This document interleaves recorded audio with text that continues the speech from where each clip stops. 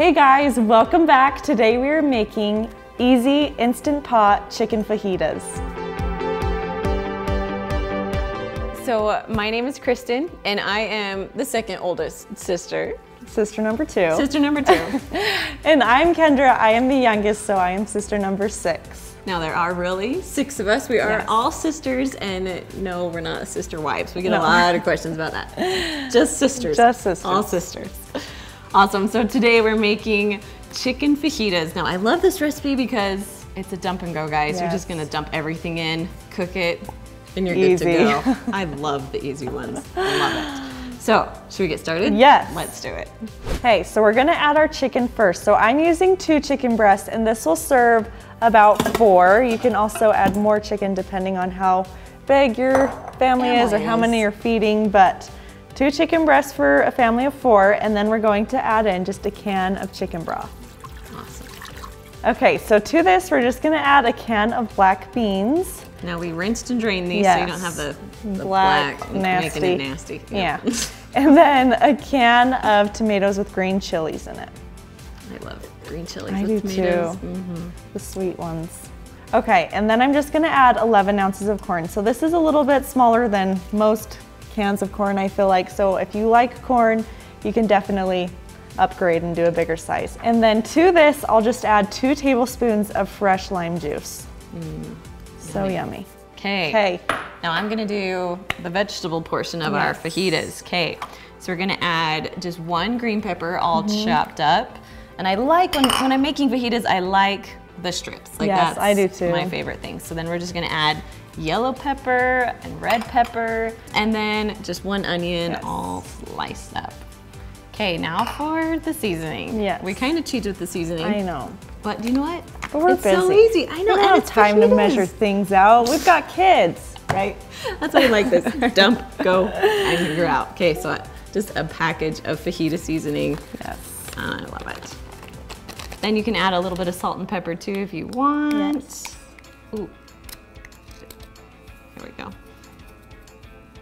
Pepper, some salt, about a teaspoon of salt Yeah. or so.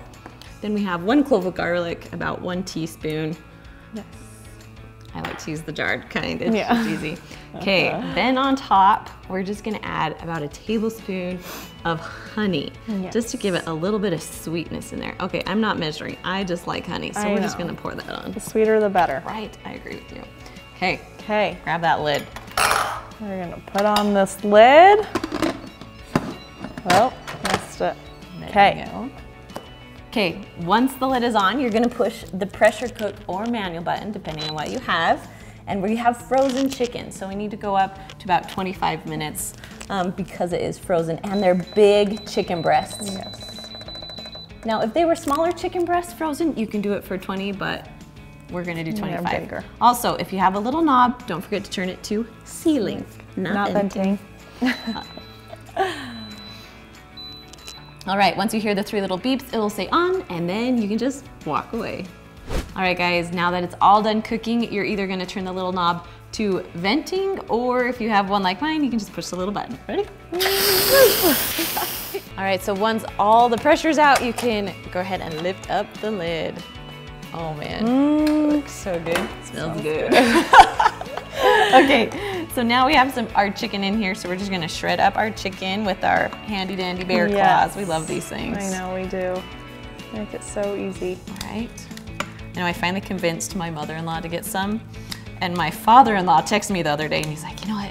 I love the bear claws. I'm like, yes. I told you you would. Converting them I know. I'm converting To the bear claws. converting them to my weird little quirks. I like it. Okay, get that last chicken breast. 'Kay. Ready. So I'll just mix around just a little bit, and then we're just gonna serve this on our tortillas.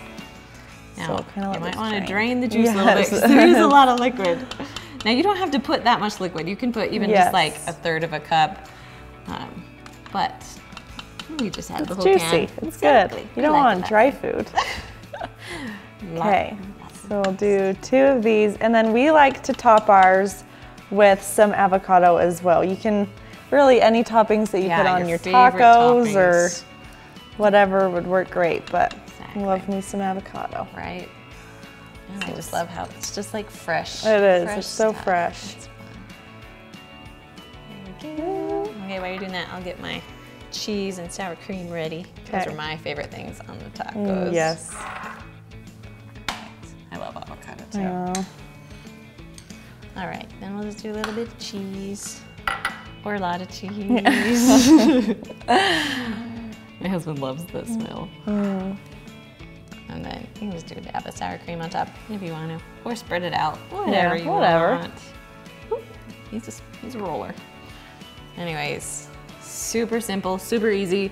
Dump and go, which is one of my favorite Yes. kinds of recipes. But still fresh. Yes, still fresh. All right, you guys, thank you so much for joining us. Now, if you want more dump and go recipes, you can find them right over there. And we'll see you next week. Bye.